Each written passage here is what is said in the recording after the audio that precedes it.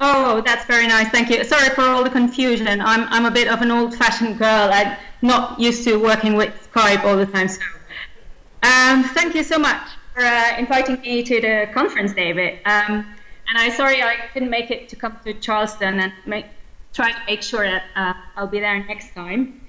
And uh, well, I would first of all like to congratulate you and, uh, and all of you there. Uh, it seems to me that humanists, um, humanists in the States and all over the place, in, all over the world, have to be very courageous these days, and especially in the US, with the success of a very conservative and intolerant group of uh, very, to me, uh, extreme right religious fanatics in charge of your country. So uh, I, I, would like to express my support and congratulate you and ask you to keep up the good work. So from, uh, from Belgium, there's a, a couple of things I would like to say on the secular state. And I have a very reason to take action these days for the promotion and protection of the secular state. As the uprise of religion in my country, Belgium, it is bothering me and, and creating tensions. We have just a very small country, perhaps people uh, around there in Charleston have never been to Belgium. I am to come over. Uh, we've been founded in uh, 1830 so that's quite recent in European history. And we had a, a very liberal constitution at the time. And um, at the same time, we had very strong Catholic roots as well. But constitution with all the freedom, the freedom of expression and the freedom of religion, and the compromise with the Catholic Church was very important for Belgium to grow as a secular state. And I was born in 1976, and I grew up in a very open and tolerant society. And there was a lot of freedom for me as a child, as a girl. And uh, I know from my family that after ages, secular, uh, decades of, of religious control, basically Catholic control, there was finally all this individual freedom, and it was like a great gift to my parents who were free thinkers as well. And my mom, for example, had told me uh, how difficult it was for her when she was a young woman to get to find a doctor who would prescribe, pills. wasn't um, an, an, easy thing where she lived in, in, in, in her region uh, to find a progressive would give you all the possibilities you needed. But when I was 16, that was already history. That wasn't a problem. And a lot of people in my generation think that we have achieved our goal forever. This fantastic freedom, freedom of expression and freedom to be who you want to be as an individual. And they think that we are safe, that our Western free secular model is will always survive and will always be maintained. And I'm not so sure of that. in my country, I see nowadays, and for a couple of years, uh, something that, that, you can call the combination. It's not a complot. I don't believe in, in, in that kind of uh, things, but it's a combination of the cultural relativism, uh, respecting all traditions because they are sort of holy things, and that cultural relativism combined with the repressive left uh, on one hand, and, and on the other hand, there is the religious réveil, we call it, an uprise again. Religions becoming more popular as people are losing themselves and looking for new kinds of spirituality. And there is especially the, the rise of Islam. And that combination creates a lot of tensions nowadays in my country. There is coming, it won't sound as a surprise to you, but it also creates an uprising of conservatives and nationalists who want to go back in history, not realizing that they are unable to go back in history. But these tensions uh, are um, actually creating a lot of problems in different domains. Um, I'll give you a couple of examples in the education system. Um, we we have discussions with parents of Muslim girls. Uh, there is uh, the call to, to, let's say, demanding not to organize anything that is considered haram. That's the opposite of halal. And uh, so prohibiting uh, girls to take part in gym classes, to go swimming, to have the whole of the biology class talking about sexual education and all that stuff. And there's the call for Muslim schools. I think it's a very bad thing. We have a mixed system of schools, but you can say that in, in reality, all Belgian kids to get into school, whether they are uh, Muslim or Catholic or free thinkers or anything else. And for the integration and cohesion in society, I think that's a good thing.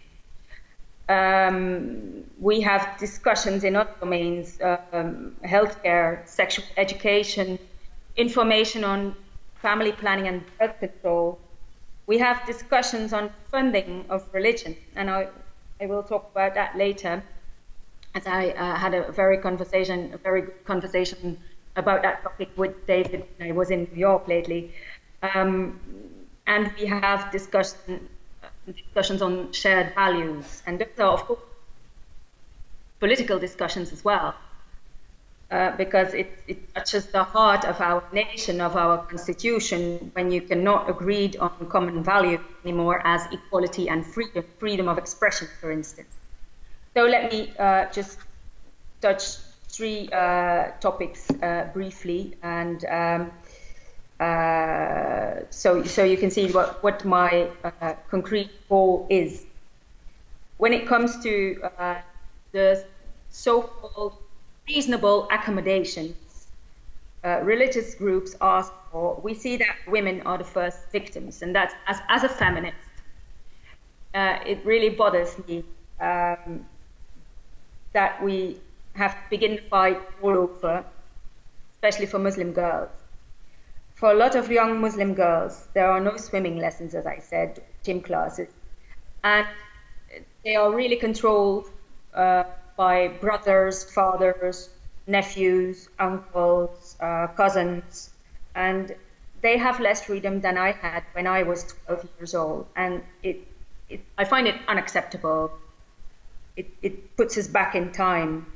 And it, we're not the only European country dealing with that problem. Uh, and we are not the only ones that are uh, losing the grip on women's rights. We have we see the same problems in, in Poland, for instance, and there you can clearly see that Catholics and, and Islamists have become allies, and the political discussions we have, it, it's difficult. For instance, in the Senate, um, the problems I, I, I, want to talk with my colleagues um, are mostly problems that um, comes to the secular state, such as Muslim girl.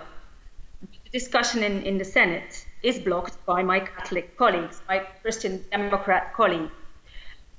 And um, they do want to defend women's rights, but because of religious traditions, those, those women's rights are under fire. Women have a more limited access to the labor market. So it's clear to me that women pay the price when religion gains the upper hand, and that should not be accepted in a true secular state. Women's rights are human rights, and it's obvious that religious uh, influence undermines these rights. So that, that's why uh, my, my, uh, the title of my uh, discussion today was also human, human rights, no secular state, no human rights. And I'm convinced that there are a lot of examples. I'll give you another one. Um, when, when we talk about, uh, for instance, the freedom uh, of expression. And um, a while ago in our country, the religious leaders signed a charter that says that we shouldn't use the freedom of expression it's a very important right, the freedom of expression and the freedom of thought, and and uh, also the freedom of religion, of course. Um, but they they see that there's a polarization, especially because of the uh, terrorist attacks and, and, and Islamic extremism in our cities. So to stop that polarization, they ask us not to use to fully use this freedom to express ourselves or to make to draw cartoons to offend someone um, because they they suppose those religious leaders that certain people only will use freedom of expression to hurt the religious feelings of others and makes me think of what Richard Dawkins recently said in London that uh, it's it's perhaps not the goal of certain people to offend the feelings of others but certain people are always ready to feel offended, and that's the problem with very religious people. They are always ready to be offended. They are never ready to laugh about things, but always ready to be offended. When I say that to my Christian colleagues, they are a bit um, offended as well, but that's too bad for them. Uh, yeah, well, sometimes you just can't help it, even in the Senate. Okay. Um, so um, this is it's for me it's um, a very dangerous problem, problem that charter because uh, our Flemish minister president um, was there when they signed the charter. He didn't take any position, but he pretends that uh, by enhancing the dialogue with the religious leaders, we will have more cohesion in society. And I don't think that we need these people around the table to get more cohesion and to get more integration and to get more respect and tolerance because they have their own agenda. They are not caring about cohesion in society, they are caring about their own club and their own interests. And uh, they are not going to improve tolerance, uh, it seems to me. They, they are going to make use of, of, of uh, the state subsidies that they receive uh, to, to become bigger, to become more, more powerful, and to be able to, um, well, constrain the freedom of others and of those who think differently. And that's why I think, that, and that's one of my uh, actions I am undertaking uh, nowadays. I think that Belgium should uh, abolish the funding of religious organizations. We have a, a constitutional system. I already referred to it as a compromise with the Catholic Church we made in 18, 1830. Um, and through that constitutional system, we give religious organizations state subsidies. It goes about um, wages for the priests, uh, infrastructure, uh, the pensions, uh, retirements, so anything that has got the religious organization is paid by the government or by one of the other uh, authorities, sometimes local authorities. And it, it for Catholic Church only, it, it runs up to, uh, if you include religious education in school, it runs up to 800, 800 million euros a year. That's a lot of money. Belgium is a small country and um, we are talking about uh, not even well maybe 10 million people but not 10 million catholics and that's only for the catholic church so you can add some some uh, 50 million uh, for other religions a year so you can also notice that other religions don't receive the same funding as the catholics that's one thing so it's, it's not uh, uh, it's not equal. I mean, it's, it's not correct in the first. Um, but as this religious diversity is increasing, uh, there is less and less transparency about how much money is involved, involved, where it comes from, where it goes to. There are also a lot of financial flows from Saudi Arabia uh, going to different mosques, but there is not enough transparency to see who gives the money and of course, if you you get the money from someone, you also bring their message. So that's uh, one of the problems we have. So less transparency, it grows more expensive every day as the Catholics keep on receiving the same amount of money while the others get more money as uh, their number of uh, members is rising. So it, it, to me, that state funding of religious organizations is, is fundamentally undemocratic. It's undemocratic because religious groups are not accountable. They can't be held accountable for their actions. And everyone working with taxpayers' money should be held ac- accountable for what they do with that money. Uh, they should demonstrate complete transparency, and this is not the case. In a secular state, true secular state, uh, of course, the government is not authorized to interfere with religious affairs, not with what they, not with the cult, not with uh, their opinions. That that is correct. But if you are not involved in their actions and there is no transparency, then that should also imply that these religious organizations gather their own finances. And um, they gather their own finance, finances and should be transparent about it at the same time. So, in my views, the, the, tax revenues have to be used to the benefit of society as a whole, and we can clearly demonstrate that religions center around their members and that they don't care about general interests. Uh, take, for instance, the examples of uh, uh, what we call euthanasia. Um, I believe it's um, it's considered um, the, in in other Anglo-Saxon countries free will to die, so end your own life. We have this very liberal legislation about it. Uh, in Catholic hospitals, it is very difficult to get euthanasia. So they, we can clearly demonstrate that they have their own agenda and that they should not receive all the state funding because they don't they don't even respect the law when it comes to certain things like the right to abortion and, and, and so on. Um, so I'm, I'm promoting right now uh, the case of Germany, for example, uh, regarding the funding of religion. It's a very interesting example. Uh, it's called the Kirchensteuer, and it means that uh, when you when you pay your taxes and and you uh, have to um, you have to make a choice. That that means that you have the freedom to pay your taxes a certain amount of money to uh, one of the churches of your own preference. Uh, and so the state has a certain role in it, but that is basically to um, ensure, to guarantee transparency about where the money comes from, the money that churches have come from.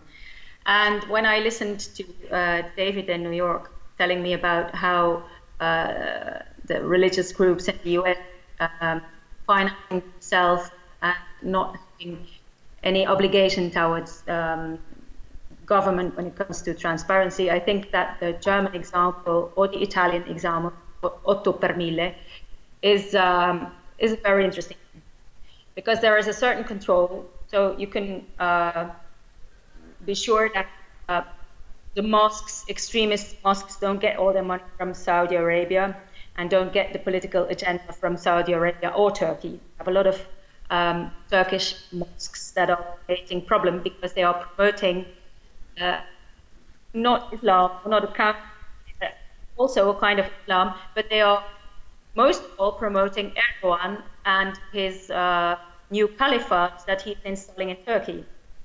So that, that was one of the examples of the secular states a, a while ago. Turkey was a very modern secular state, of course, with a, a very great Muslim population, but it was quite different from other countries in the Middle East. And uh, all over Europe, we have a lot of Turkish immigrants. And um, by financing mosques from Turkey and sending preachers from Turkey, um, Erdogan has a gigantic control over Belgians with Turkish origins. And it's, it's a problem that we have to tackle also by um, changing the legislation when it comes to the funding of religion. So I think that's a, a quite a technical way of approaching the problem. Um, just, I, and I think it's the only way because you cannot um, pretend that you're going to uh, solve the problem by saying that being a humanist is so much better, even if it's true. I mean, being a humanist and being an atheist is, of course, much more fun and, and it brings you joy in life than, than being an extreme Catholic, but that's not how we are going to win this fight, I think. When it comes to Belgian politics, I, I prefer to work on uh, um, some, um, let's say, consolidation of our constitution. I, I want to see that part of religious leaders in the bin. I, I want to see it burned somewhere because I don't want it to influence uh, our legislation. I think that the, the equality between men and women and the freedom of expression, the freedom of belief, the freedom of press is that is holy to me, and it should not be uh, constrained by religious leaders that pretend that they're fighting for tolerance. So I think that liberals all over my country and all over Europe have to unite and uh, um, be very aware of the problem because we had the Charlie Hebdo attacks recently. People were, were killed for drawing cartoons in Paris. Paris is, is, is only 300, not even 300 miles away from where I live. And uh, everyone was saying on Twitter, Je suis Charlie. Everyone was Charlie. Everyone was sad because of these uh, humorists that were killed. But one year later, we have religious leaders joined by our minister president signing a charter which they ask us not to fully make use of the freedom of expression. It's shocking. It's, it's worrying. It's worse than worrying. It's unacceptable. They have forgotten that all these people said, je suis Charlie. Or if they haven't forgotten, they, they just don't understand what they were saying. But that's, uh, that's the thing I, I want to conclude with that. Um, that's the, the um, our main challenge is to uh, safeguard and, and, make sure that freedom, make sure that uh, religious leaders don't get the influence that they want, um, pretending to put an end to polarization. Maybe the polarization has to go on for a little while, and we have to arm ourselves with good arguments and uh, try to, to, to change, give it a shock to the system so that we can show people again what freedom means. Thank you.